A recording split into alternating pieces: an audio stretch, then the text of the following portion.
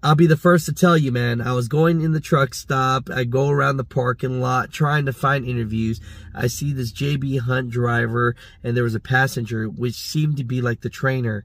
And I was like, look, if you guys are struggling, I can help. No problem. I'll help back you up.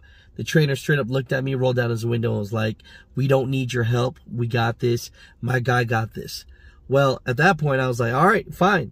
But when I walked behind, I totally saw that he was scraping to hit that trailer, so I filmed it. I'm not trying to be a butthole, but I'm letting you guys know we gotta be better at this, man. Don't be that lazy trainer. Go out and help your driver. That person is nervous as hell. But, you know, I blurred out stuff because I'm not here to try to get anyone fired. I'm just here to let you guys know that, you know, we got to be better. Have you ever been in a situation like this where your trainer didn't do anything and because of that, you know, you damaged something else or you hit something else? Uh, you know, definitely comment down below and tell me your experience. Not trying to talk trash, mother truckers, but this JB Hunt driver right here, bro, just backed up and just hit this trailer right here.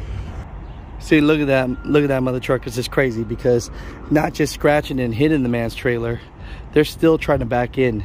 Now, here's the crazy part about that. There is a passenger in there that could help them, but he don't even want to look. He don't even want to look. They just both in the truck, man. I'm not trying to ever be an asshole, but you mother truckers out there, man, always do your best to do the right thing.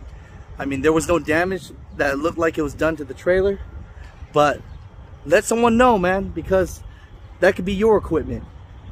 You know, have pride in what we do, man.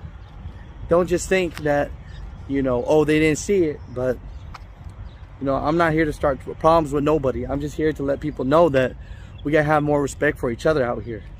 That's all I gotta say about that, but let me know down below. Have you been in a situation where someone hit you, but they let you know and you forgave them for it or vice versa?